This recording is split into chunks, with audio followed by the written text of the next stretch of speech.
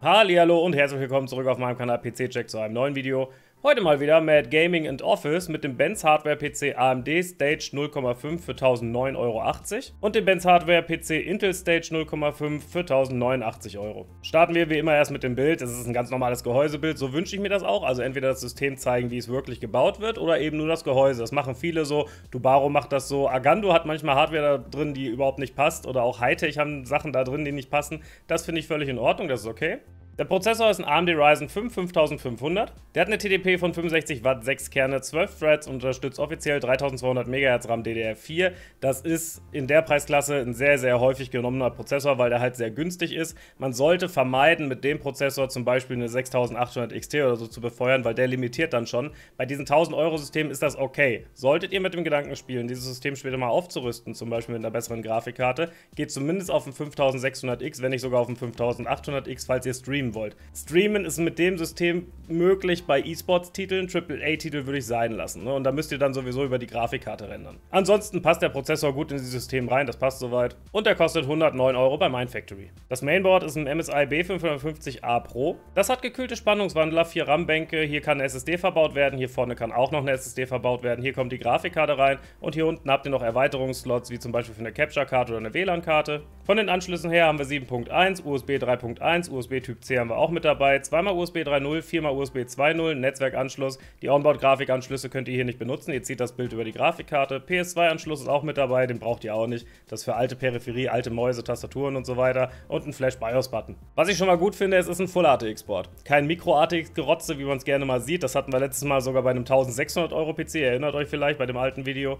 Aber hier, das passt auf jeden Fall gut da rein. Wie gesagt, habt viele Erweiterungsmöglichkeiten, die euch bei Micro-ATX dann nicht so gegeben sind. Und das ist ein grundsolides Board in dieser Serie. Gar keine Frage. Ist natürlich nicht jetzt so ein High-End-Board, könnt ihr aber auch bei 1000 Euro einfach nicht erwarten. Das ist schon okay. Und das kostet 139 Euro bei Mindfactory. Das Gehäuse ist ein Deepcool CC 560 Schwarz Glasfenster. Das bringt vorne schon 320 mm RGB-Lüfter mit und hinten im Heck ist auch noch einer drin. Das heißt, der Airflow ist auf jeden Fall gegeben.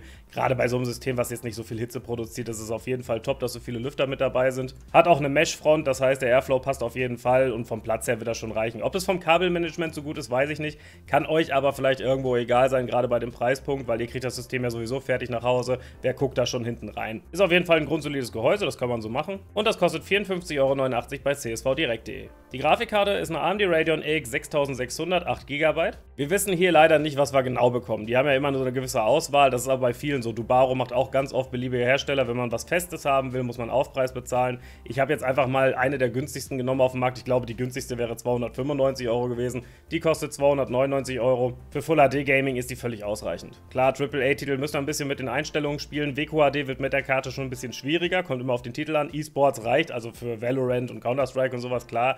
Wollt ihr jetzt zum Beispiel Far Cry spielen, da müsst ihr schon ein bisschen quasi die Grafik runterdrehen, damit ihr gute FPS-Werte erreicht. Ist aber in der Preisklasse auch eine sehr gerne genommene Grafikkarte und das ist auch in Ordnung. Den FPS-Test dazu findet ihr wie immer unten in der Videobeschreibung. Und die kostet 299 Euro bei Mindfactory. Das Netzteil ist ein Seasonic Focus GX 550 Watt ATX 2.4. Das hat 10 Jahre Herstellergarantie, ist 80 plus Gold zertifiziert und vollmodular. In der Preisklasse auch nicht selbstverständlich, dass sie vollmodular sind. 550 Watt reichen in dieser Preisklasse natürlich aus. Ihr könnt da vielleicht hinterher noch eine 6700 XT zum Beispiel damit befeuern, aber dann würde ich schon auf ein anderes gehen. Aber hierfür auf jeden Fall eine gute Wahl, qualitativ auch völlig in Ordnung. Und das kostet 81,99 Euro bei eBay über Alt Computer. Der Arbeitsspeicher ist G-Skill Ripjaws 5, 16 GB DDR4, 3200 MHz CL16. 16 GB, klar in der Preisklasse muss auf jeden Fall sein. 3200 MHz finde ich ein bisschen schade, hätten ruhig 3600 MHz sein können, weil es ein Aufpreis von vielleicht 10 Euro oder so. Nichtsdestotrotz halten sie sich hier an die Spezifikation von AMD, was auch völlig in Ordnung ist. Und er kostet 61,29 Euro bei Mindfactory.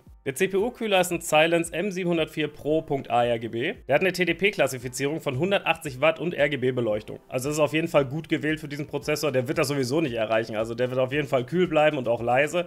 Das ist völlig okay. Da könnt ihr sogar noch ein 5600X mit betreiben, auch gar kein Ding. Sollte man natürlich auf die Idee kommen, 5800X zu nehmen, dann sollte man vielleicht sogar schon auf eine Wasserkühlung gehen, weil die Sau echt scheiße zu kühlen ist. Aber der 5500er, der wird halt überhaupt nicht gefordert, auch nicht was die TDP angeht. Und der Kühler, der reicht ganz dicke dafür aus. Und der kostet 34,02 Euro bei Mindfactory. Als SSD bekommen wir eine Crucial P2 SSD 1 TB M.2. Die hat eine Lesegeschwindigkeit von 2400 MB die Sekunde und eine Schreibgeschwindigkeit von 1800 MB die Sekunde. Fürs Zocken völlig ausreichend.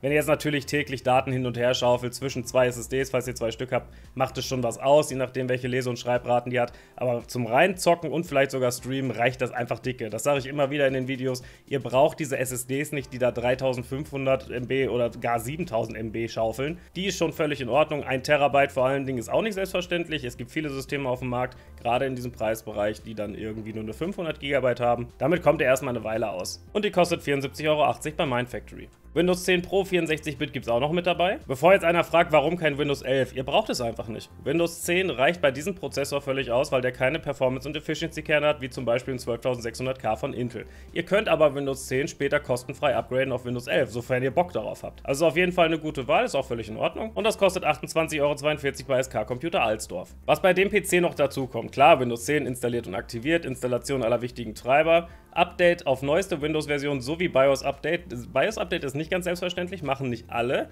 Das ist schon mal cool.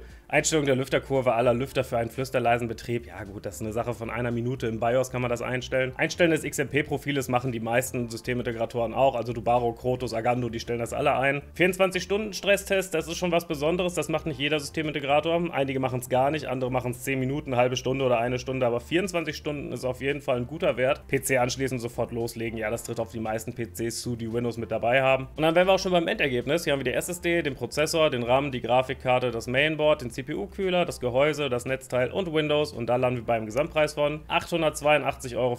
Das System soll kosten 1009,80 Euro. Also circa 120 Euro fürs Zusammenbauen. Ist okay. In der Preisklasse ist das in Ordnung. Ich sage ja immer, mein Factory zum Beispiel nimmt 150 Euro fürs Zusammenbauen, egal welche Komponenten drin sind.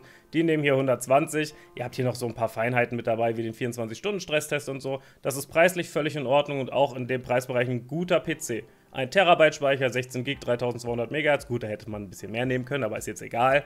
Das ist schon ein guter PC, gar keine Frage. Dann habe ich gestern mal Krotos angehauen und dem habe ich einfach diese Config von Mad Gaming mal geschickt und habe den mal gefragt, was kannst du da preislich machen? Er hat fast das gleiche System, er hat einfach nur noch eine andere SSD genommen, die auch 1 Terabyte hat und beim RAM hat er tatsächlich 3600 MHz genommen, der Rest ist komplett gleich und da landen wir bei 990. Inwieweit euch das jetzt diese 19 Euro wert sind, weiß ich nicht, weil wie gesagt, wir haben hier einen 24-Stunden-Stresstest mit dabei, diese Lüfterkurve, ich weiß gar nicht, ich glaube Krotos macht auch die Lüfterkurve, aber den Stresstest macht er auf jeden Fall Fall nicht 24 Stunden. Wenn ihr da Wert drauf legt, dann nehmt diese 19 Euro noch in die Hand und kauft das System bei Mad Gaming. Ansonsten kauft es bei Krotos, ist ja völlig egal. Also abziehen tun euch beide Läden nicht, das ist in Ordnung. Und dann haben wir hier jetzt noch den Benz Hardware PC Intel Stage 0,5, also einfach nur die Intel-Variante davon für 1089 Euro. Wieder nur das Gehäusebild, das ist okay. Wir gehen da jetzt nicht so krass drauf ein, den mache ich im Schnelldurchlauf. Wir haben jetzt einfach nur ein Intel-System und zwar mit dem Intel Core i5 12400F. Ist die aktuelle Generation, könnt ihr später so noch upgraden auf einen 12600K oder so, wenn ihr möchtet.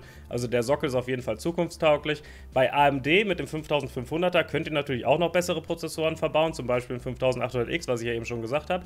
Aber AMD steht in den Startlöchern mit der 7000er Serie. Inwieweit das noch zukunftsweisend ist, weiß ich nicht. Der ist auf jeden Fall besser, was das angeht. Das Mainboard ist ein Gigabyte B660 DS3H DDR4. Da bin ich nicht ganz von begeistert. Es ist Full ATX, das ist schon mal okay. Es hat aber oben keine gekühlten Spannungswandler. Bin ich kein Freund von. Geht immer ein bisschen auf die Haltbarkeit. Ansonsten erweiterungstechnisch ist das soweit in Ordnung, gerade in dieser Preisklasse. Da kann man vielleicht auch diesen Abstrich machen mit den gekühlten Spannungswandlern, aber inwieweit das dann ins Gewicht fällt. Ich hätte lieber das hier gesehen, das wäre ein MSI Pro B660A DDR4, wenn wir uns das angucken. Das hat nämlich gekühlte Spannungswandler, das kostet einfach nur ein 20 mehr. Hätte ich vielleicht lieber das genommen. Wir haben das gleiche Gehäuse, die gleiche Grafikkarte, das gleiche Netzteil, den gleichen RAM-Speicher, den gleichen CPU-Kühler, die gleiche SSD und eben auch wieder Windows 10 mit dabei. Dann haben wir hier auch das Endergebnis. Hier ist die Crucial SSD, der Prozessor, der RAM, die Grafikkarte, das Mainboard, der CPU-Kühler, das Gehäuse, das Netzteil und Windows und da landet ihr beim Gesamtpreis von 935,82 Euro. Das System soll kosten 1089 Euro. Da seid ihr bei bummelig 150 Euro auch fürs Zusammenbauen. Das ist das gleiche, was mein Factory auch nimmt. Und die machen keinen 24-Stunden-Stresstest. Also das ist auf jeden Fall preislich gesehen ein gutes System, auch von der Konfiguration her. Das Mainboard gefällt mir nicht so ganz. Auch der RAM 3200 MHz hätte man auch 3.6er nehmen können. Und auch hier hat Krotos noch ein Angebot gemacht. Also ich habe ihm einfach die Links geschickt. Er hat was zusammengestellt und dann quasi mir so angeboten. Das sind diese Custom Gaming PCs. Die könnt ihr auch nicht mehr umkonfigurieren. Und ihr kriegt die auch so nicht hin, wenn ihr die direkt bei ihm auf der Webpage konfiguriert. Die werden auf jeden Fall teurer. Das hat er jetzt wirklich nur gemacht, um vielleicht Mad Gaming zu unterbieten. Ich weiß es nicht genau. Aber hier haben wir auch den 12400F drin, das gleiche Gehäuse. Hier haben wir allerdings das mit den gekühlten Spannungswandeln. Das Board, was ich euch eben gezeigt habe, das MSI-Board. Die Grafikkarte ist die gleiche, 3600 MHz RAM. Die SSD ist eine andere, aber auch ein Terabyte. Das gleiche Netzteil, den gleichen CPU-Kühler und Windows 10 ist auch mit dabei.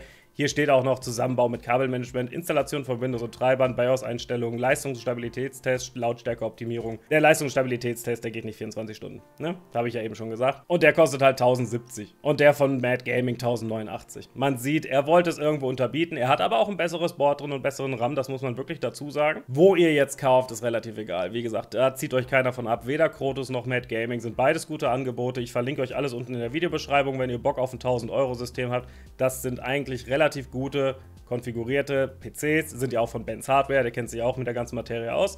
Mit der habe ich auch gestern noch ein bisschen drüber gesprochen, auch dass mir das Mainboard nicht so ganz gefällt, aber so ist es jetzt halt. Aber ist auf jeden Fall eine gute Sache.